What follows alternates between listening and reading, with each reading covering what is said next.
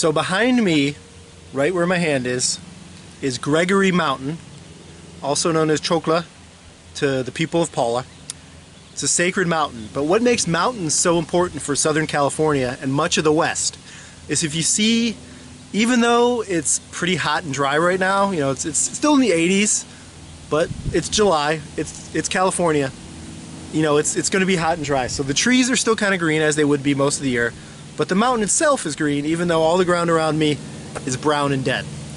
So what happens is in Southern California, we have this coastal layer, you know, the fog will roll in off the ocean most days for for lots of California, actually, Northern California, Southern California, most, much of the coastline. You get this fog. But what happens is the fog will push against the mountain and start to collect. So that little bit of extra moisture in these mountains out here can mean the difference between life or death for a lot of these plants. So you'll have species that can only survive on these mountains, especially like this slope right here is facing north. Now you can't see it, but right now I'm facing north. The other side of the mountain is south. So what does that mean? The north side of the mountain is going to be a little bit cooler and a little bit wetter all year. So that means this side of the mountain is going to stay a little bit more green. It's going to have some of these plants that maybe can't survive drier conditions. Some of the things like the beautiful monkey flowers, um, maybe willows and stuff can, can survive in some of the nooks out there.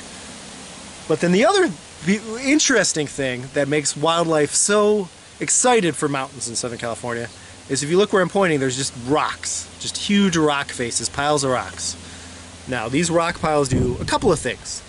The two big things for wildlife in Southern California is eagles, crows, ravens, hawks. A lot of these big birds need big nests. And because Southern California and parts of California don't have a lot of trees, uh, you know, traditionally, there's trees obviously in this riparian area, but if you go out to the desert and stuff, you don't find a lot of trees. So where do you nest if you're a bird and you need to make a nest that could be a ton, literally one ton of sticks for your nest? These cliff faces, these big rock piles. And then the other thing the rocks do is they provide shelter. You know, it's hot, it's dry, but there's a little bit of moisture that gets trapped in there from the fog, and then things like lizards, frogs, salamanders, even coyotes, mountain lions, birds will find a little bit of shelter in there and it essentially becomes their home.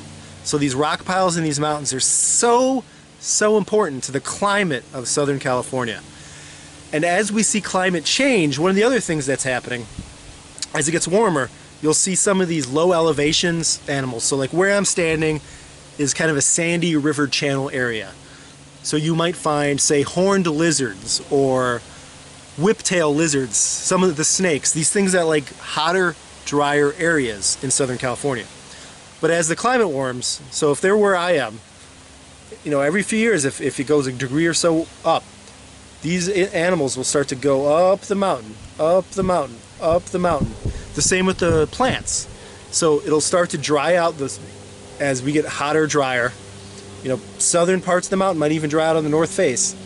So it'll push these little pockets of wet, important habitat up the mountain. And eventually, if we get hot and dry enough, we're going to lose some of these plants and animals that need this area. Um, a couple I can think of off the top of my head is uh, some of our native salamanders are only going to be found alongside these mountains. Um, our native snails, these large native snails, are only going to be found in these mountains. Some of our birds are only found in these upland areas. So if we get hot and dry enough, as the climate changes, even though this is a sacred mountain, it's important to the people and wildlife of Pala, it may eventually look nothing like this and just be another dry, deserty area during the summer. So hopefully we can protect it and hopefully we still get, even as it warms and dries, if we still get that fog, that coastal layer, it'll provide some protection and habitat for this wildlife.